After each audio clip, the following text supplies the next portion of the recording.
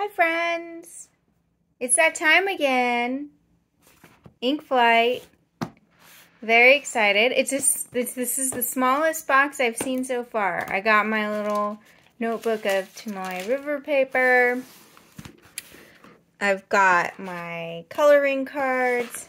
I've got paintbrush, a steel dip pen, a glass pen. Uh, oh, I've got water, which was here the whole time, and I didn't just go run to get it because I forgot. Um, and I don't really have a chair. Uh, I'm, I'm on the back of my cutting mat. That doesn't seem like a good idea. Also off screen I have some rags.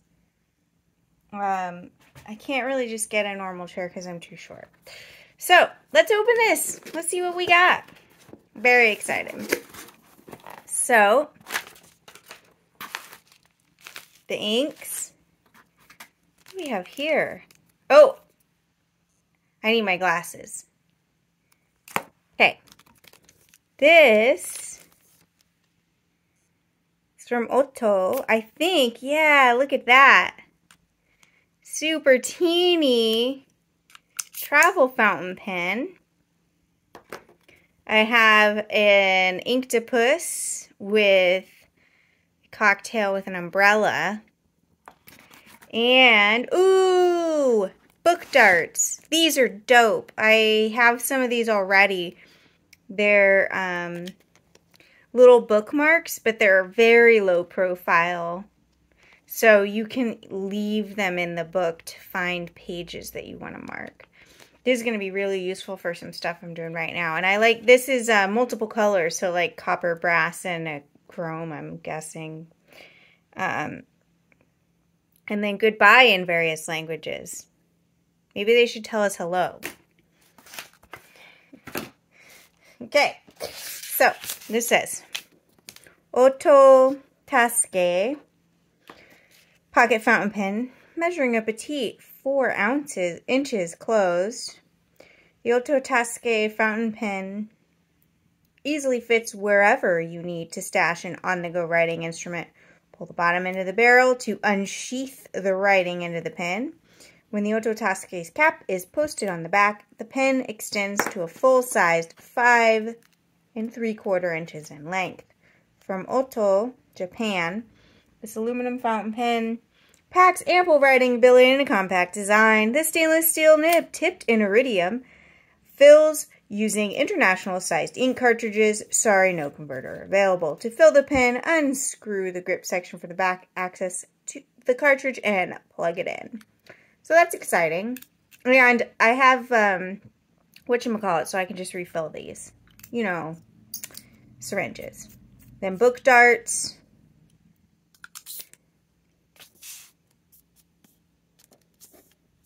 Uh, brass, bronze, and stainless steel, it says.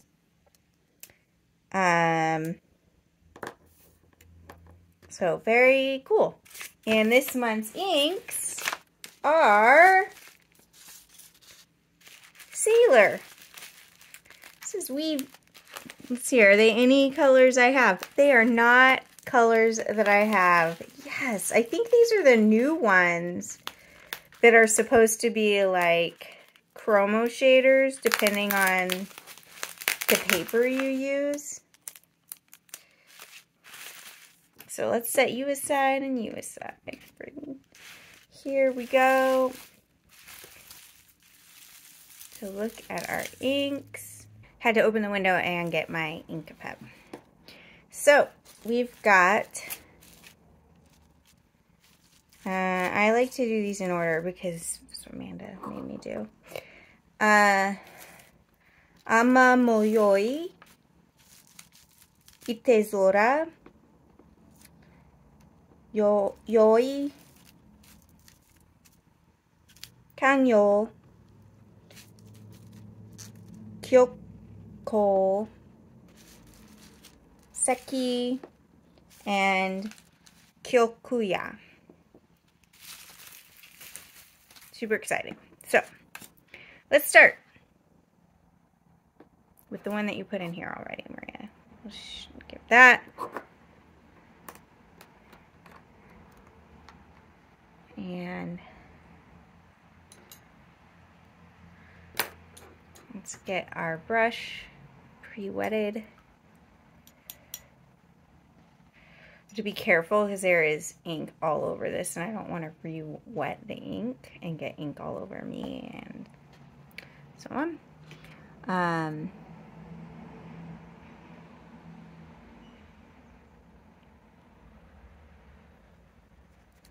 this is not going to be my favorite color.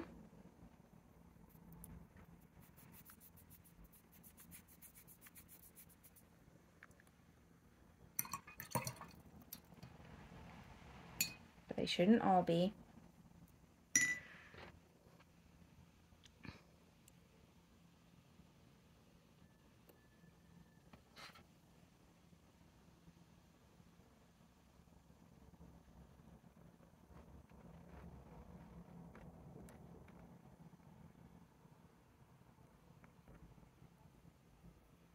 These are fairly watery inks. Um,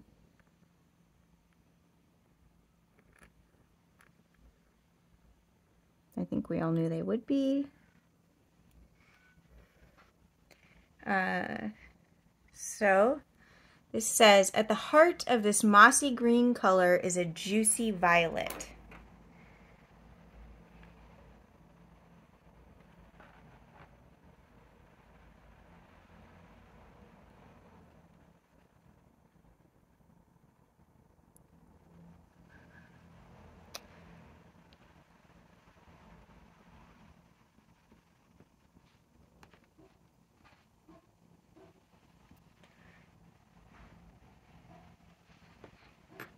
I don't see violet, I see peach.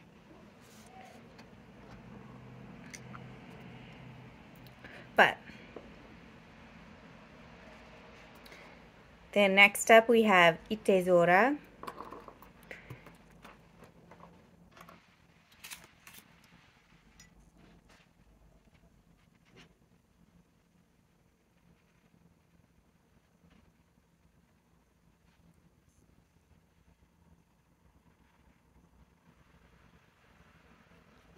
This one I might like more.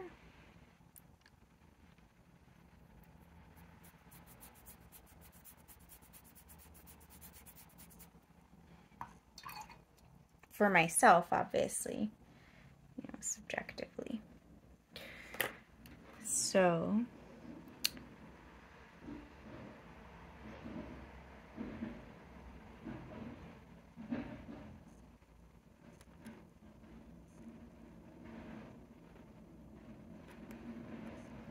This is hard. I'm standing and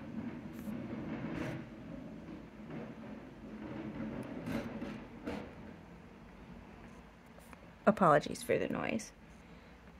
Um, I'm standing too high to write. That blob right there bothers me.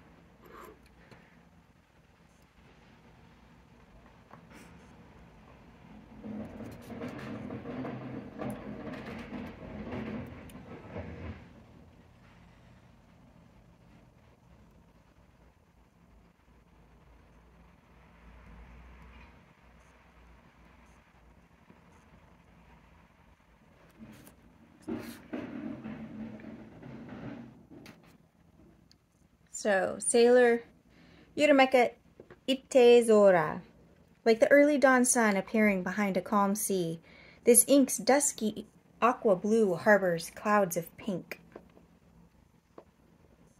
Yeah, I see that. I also see green in here. Ooh.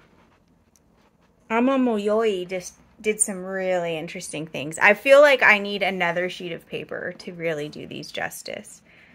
Uh, if only I had a whole stack of it from bookbinding. Um, now we have Yoi. Yoi.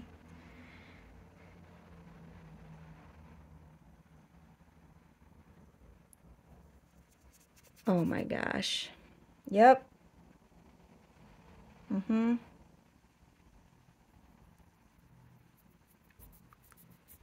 This might have to go in a pen. Don't you love that sound? Is it just me? Do you also like the sound of like the the breeze through the trees?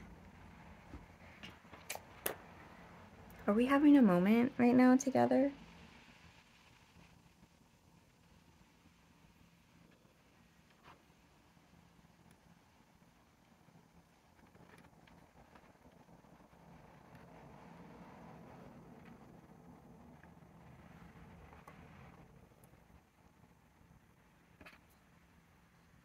Are we hanging by a moment? Probably not.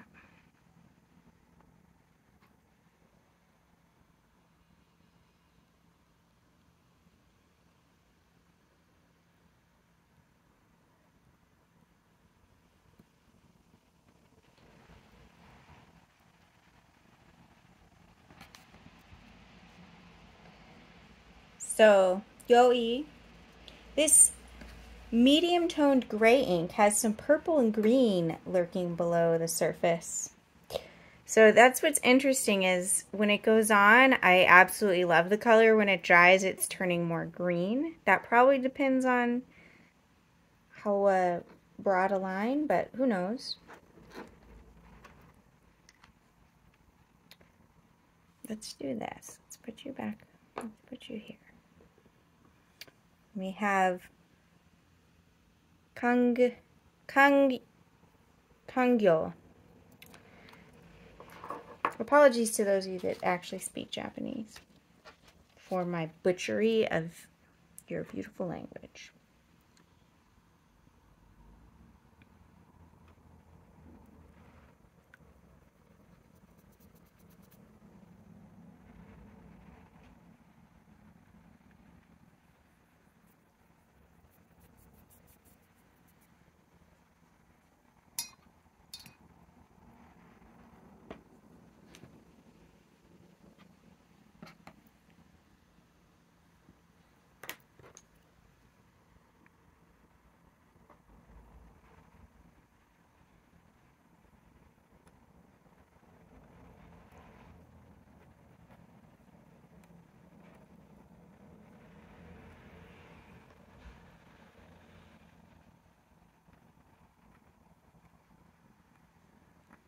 I do at least know that the U doesn't make it U, it makes it a longer O. That's something, right?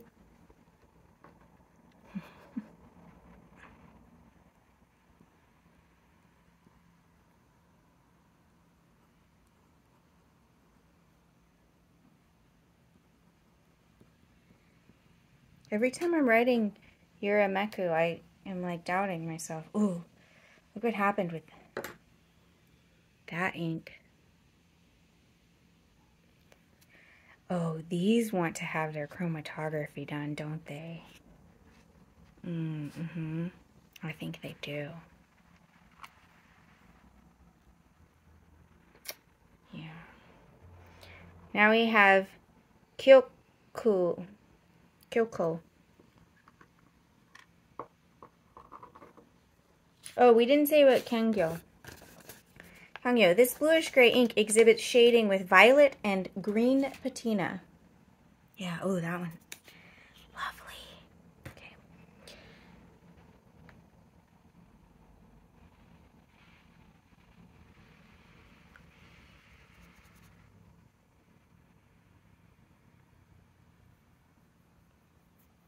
Maybe I should put one of these into my sailor pen.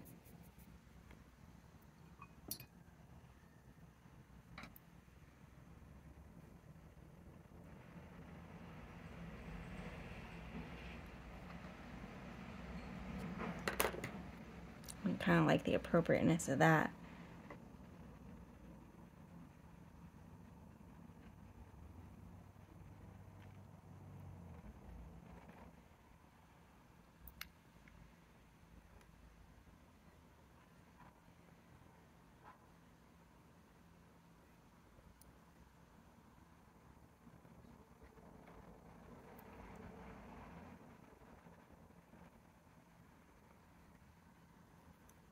This is perfect. I'm not running out of ink every second letter. Kyokyo.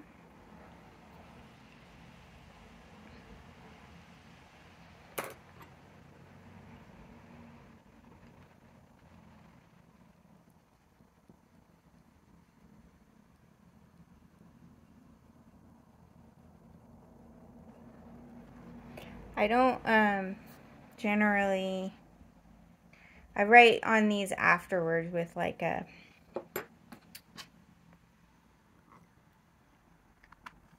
permanent waterproof type pen to write the ink flight month in case I need to find that again for some reason.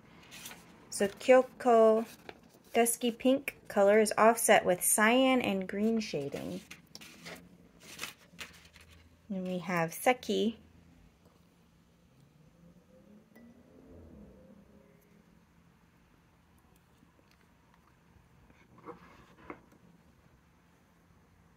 Says this warm beige color serves as a base for magenta and green tones.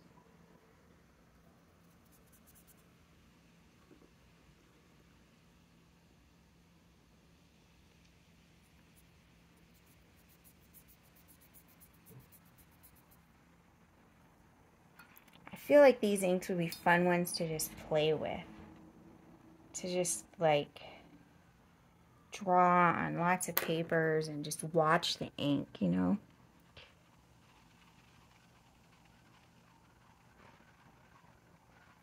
Oh, my ride's almost here. Just kidding.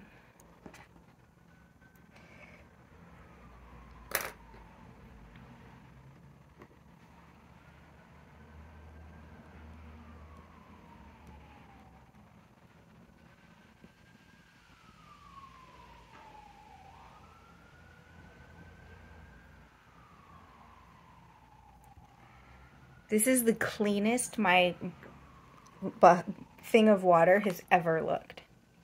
This is so amazing to watch dry. I hope you have enjoyed that as it has been in front of you. And last up, Kyokuya. Kyokuya. Kyokuya. Okay. And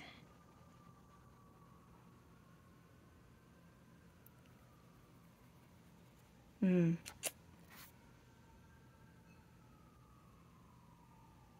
The initial color reminds me of Manglar. But it's been a minute or two since I looked at that one, so...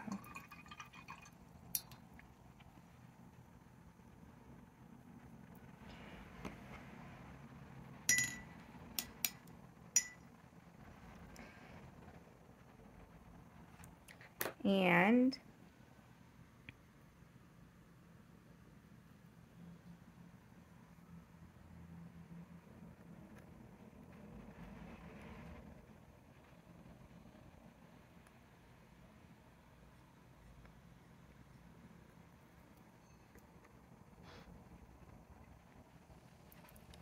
This feels like the most pigmented, certainly like the most lubricated of the inks.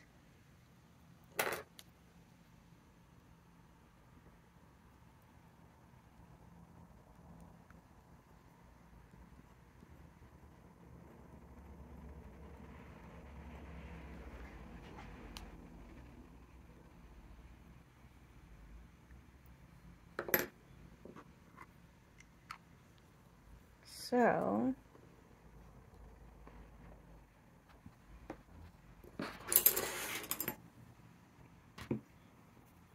here's the water.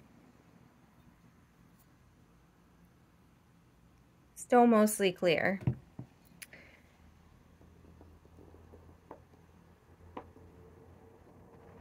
Um, let's lay out the inks and look at them.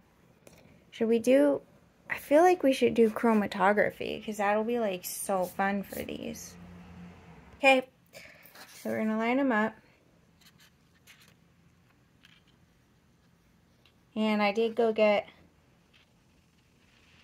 um, some chromatography papers because I wanted to. So here's all of these and the drastically different colors they make on Tomoe river paper. Um,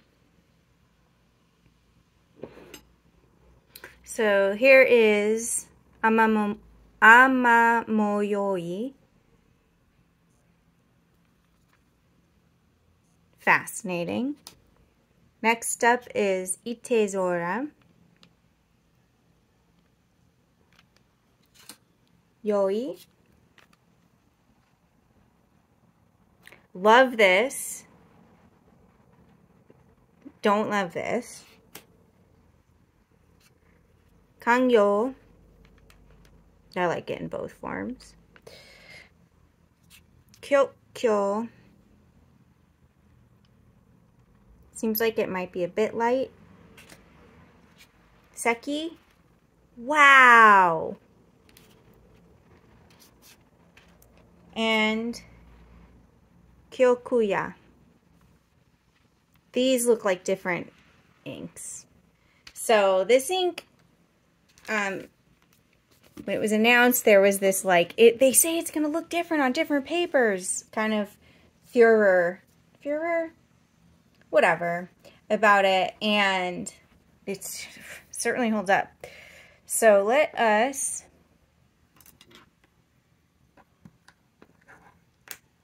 draw a line. I feel like that's a really thin line. Across these papers. We'll get the first one going. Got my trusty hair clips. Hopefully water. Perfect.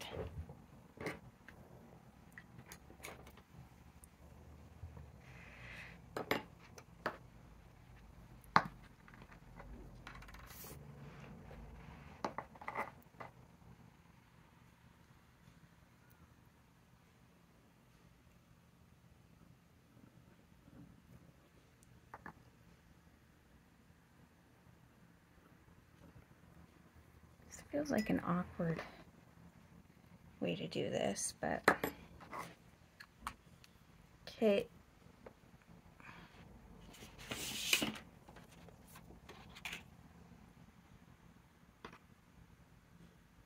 Apparently you're supposed to let them dry hanging, so that's a thing that's not happening. At least not right now.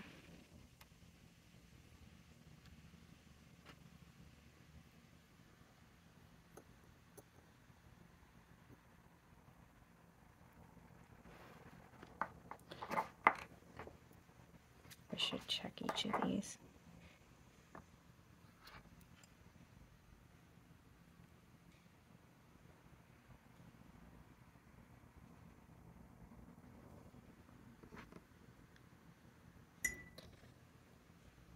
I like leaving them in the water until I see clear water above the color.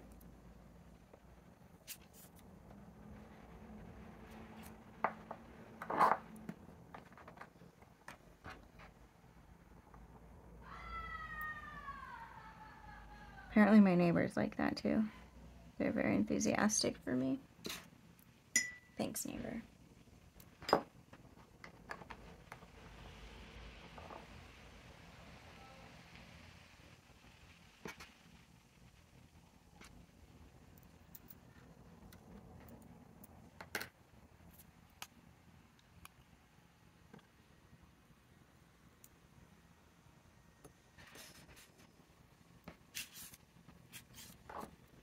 Um, these would be, I think, pretty cool inks to make art with. Watercolor style, you know. Holy cow! There's some magic going on in here. Oh my goodness.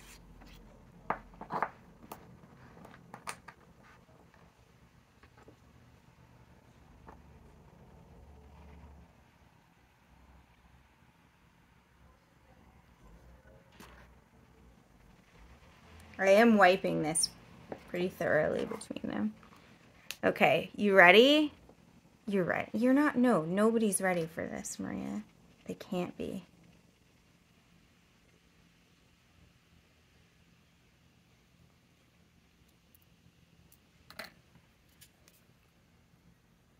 That's it. That's one that is, to my eyes, brown, and I suppose it's not surprising if you've got all the primary colors, that's what you'll end up with.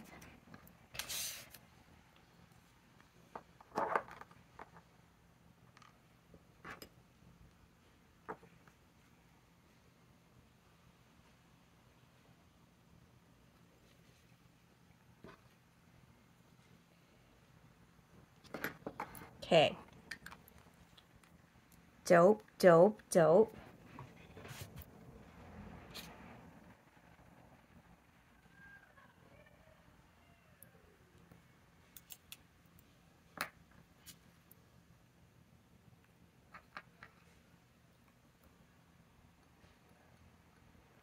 We'll hold this one in.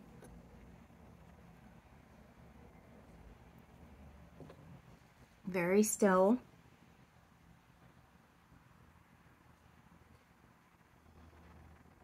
I need maybe a pasta rack. I mean, I want a pasta rack anyway for pasta, but then, I mean, if you convince me that I need a pasta rack to dry chromatography swatches on, I feel like I might be more likely to buy it. I don't know what that says about me. That I suppose we already knew I was weird.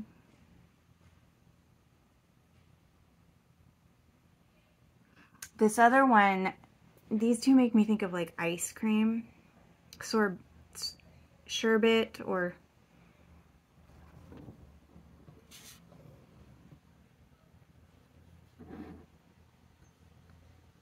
This one specifically really made me think of like, do you remember those like ice cream popsicles that you would get as a kid that were like Pac-Man? Or the Ghost? And they'd have like gumball eyes? Farm remembers.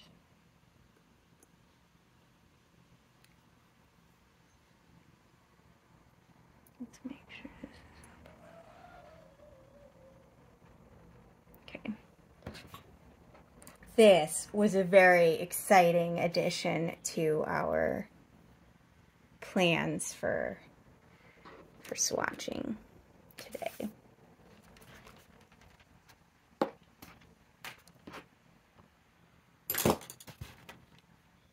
Yeah, I made a bunch of really good decisions quickly.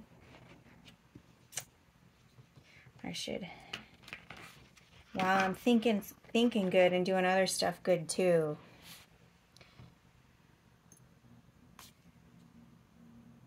Capitalize on that. I don't know what other stuff I need to do, but there's got to be something. So, here we go. Here are our chromatographies. How amazing are these? Really? Quite amazing? Very?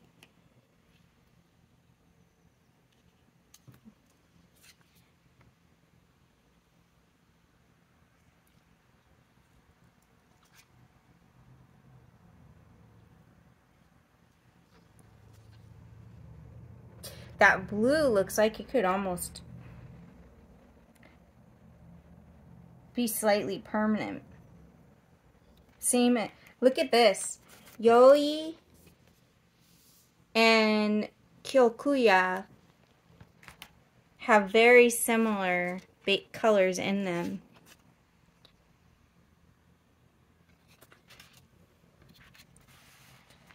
This was one of the most fun ink vents. Maybe, I don't know which wins, this or the, um,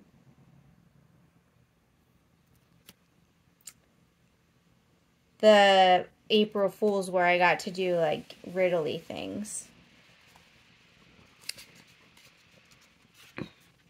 And, I guess this one was so fun for me because I just like went off script and decided to do chromatography. And also I got inks that I'd wanted to, that I was curious about but probably wouldn't have bought. Which is amazing. Because I'll be honest, this one right here, I, I can't, I must have messed these up in order. It doesn't matter. Yoey? At any rate, hope you've enjoyed. I've been talking too long. This was Ink uh, Flight. I may have just called it something else. Look, this was Ink Flight for August 2022. It was amazing. Thanks for being on the journey with me. Bye.